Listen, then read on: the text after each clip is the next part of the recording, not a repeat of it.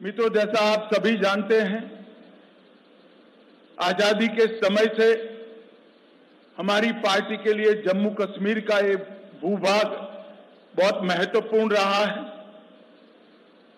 और आज़ादी के समय से ही हमने इस भूभाग को हमेशा भारत के साथ जोड़े रखने के लिए बहुत प्रयास किए।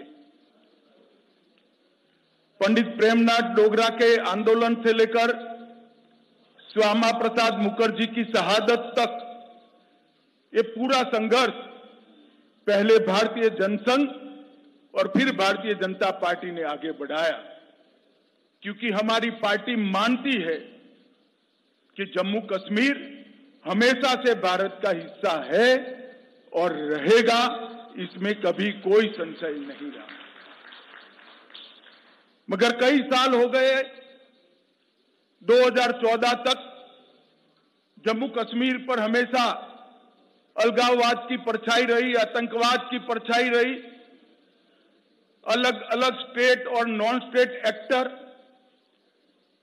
Jammu Kashmir को अस्थिर करते रहे और सभी सरकारों ने एक प्रकार से एपिसमेंट की पॉलिसी से जम्मू कश्मीर को डील किया।